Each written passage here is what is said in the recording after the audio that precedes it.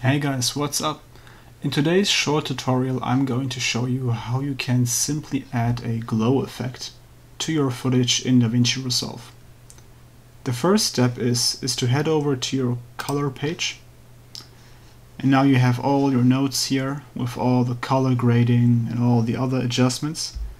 Simply add another node here and then under effects look for glow which should be under Resolve FX light and just drag this onto your last node.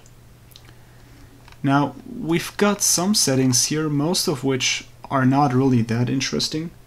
The first one is Shine Threshold.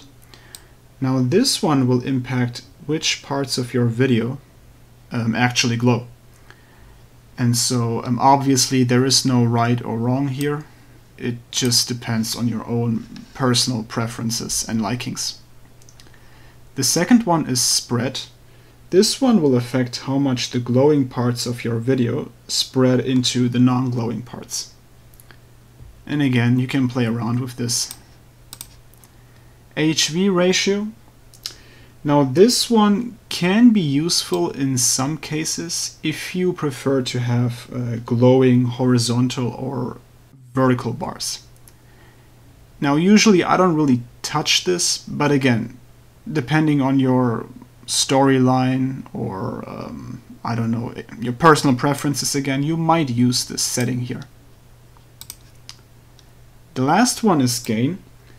This one will adjust how intense you want your glow effect to be. And so this will basically increase the brightness of your glow effect.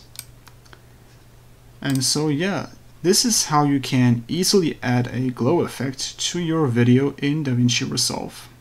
I hope you liked this video, I hope it was useful, and yeah, thanks again for watching and I will see you next time.